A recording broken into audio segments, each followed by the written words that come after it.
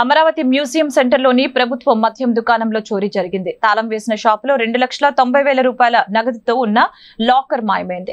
ఆదివారం ఉదయం shop supervisor వచ్చి లాకర్ తెరవటంతో ఈ ఘటన వెలుగులోకి వచ్చింది. వేసిన తాళం వేసినట్లు ఉండగా చోరీ జరగటంతో ఇంటి దొంగలే ఈ చోరీకి పాల్పడ్డారని పోలీసులు భావిస్తున్నారు. కేసు నమోదు చేసి దర్యాప్తు చేస్తున్నారు.